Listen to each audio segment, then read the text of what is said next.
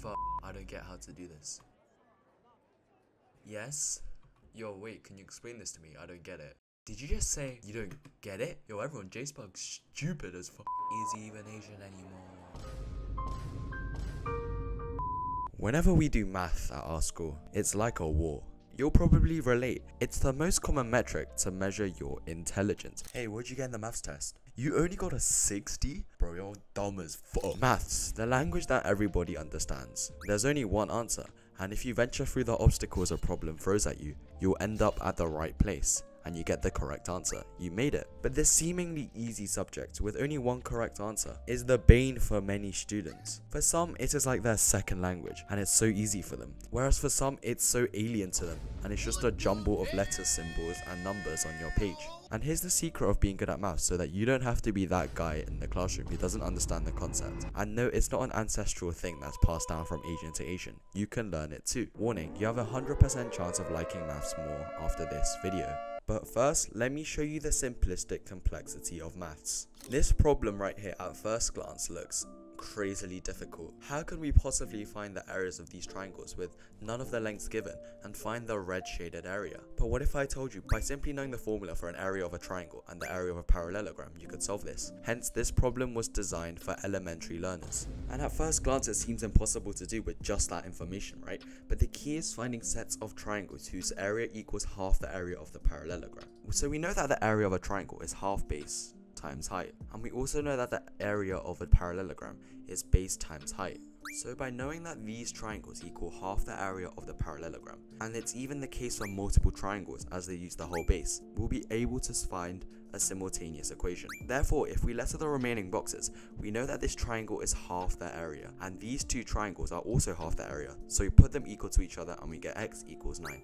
And maths is like this a lot of the time. Easy concepts you learn are tested in harder questions with additional steps. And so it makes it so that the foundation, the easy things you overlook, such as the area of a triangle and the area of a parallelogram, if you don't have a solid foundation, you won't get far in maths. And so this is why you struggle at maths. The reason that I showed you this problem is that a lot of the time, people think you need to know more formulas and memorize them but sometimes it's the basics that aren't there. These are simple concepts, an area of a triangle and an area of a parallelogram. Most of you probably learned this when you were 7, 8.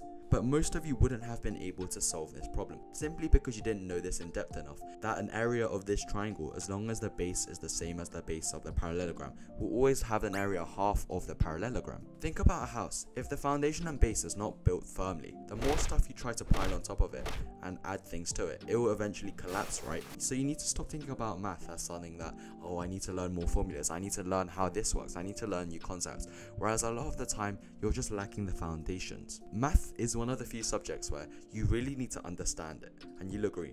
In biology, you could have no idea what a mitochondria is, but if you simply remember the definition, the powerhouse of the cell, you'll get the marks. But for math, imagine that for square roots, instead of understanding how they work, you just learn them. So instead of knowing that they're the opposite of squaring, you could have just memorized the square root of 25 as 5 as a fact. But when you had to face the square root of 36 or the square root of 100, you wouldn't know how to do them because you hadn't memorized them. Instead, if you had just simply learned the fact that square roots are the opposite of squaring, you would have been able to do this easily. So imagine next maths test, all the answers just magically come to you. Here's what you have to do. Number 1. Know what the question is asking. Math questions normally want to test something specific. Rarely are questions there just for the sake of them. Whether it's solving quadratics, completing the square, difference of two squares, knowing how to break down a problem and understand what it's trying to test is imperative. Because a lot of the time, math problems, especially big ones, as you'll know, it's just a series of simple operations that are multi-step. So by understanding and really getting used to how math problems are constructed, you'll be able to see and get used to different steps that will be needed. For example, if you do enough of graph, gradient and intersection questions, you start to memorize that they have a series of steps you follow for each question. 1. You rearrange to get y equals mx plus c, then you differentiate, then you sub in values, and then you find a new gradient, etc. etc. If you don't feel confident in the little things, the bigger and more complicated the problems get, you won't understand them.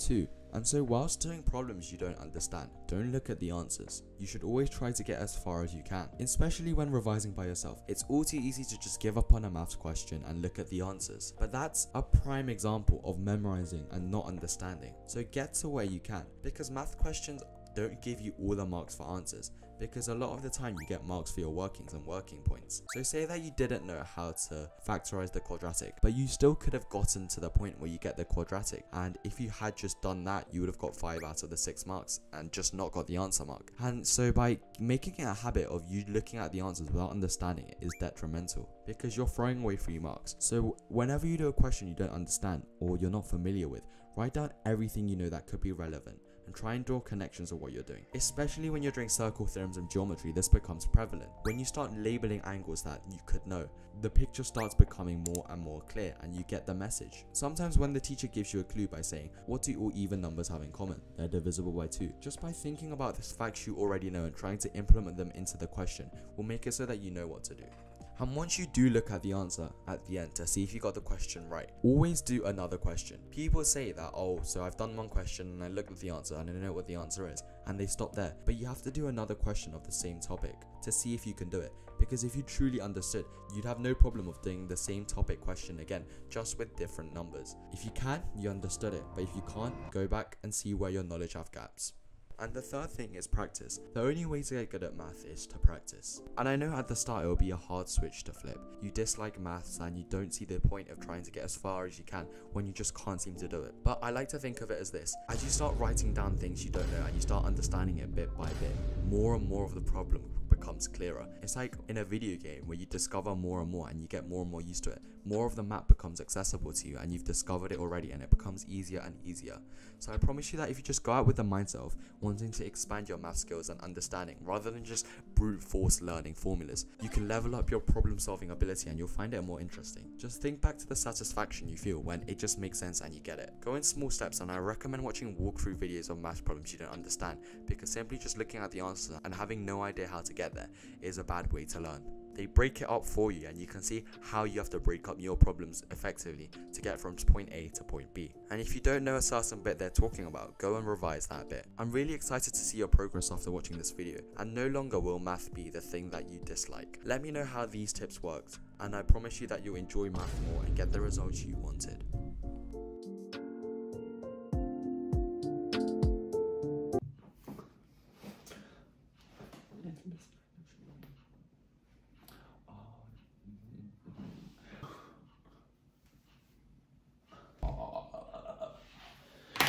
Yeah.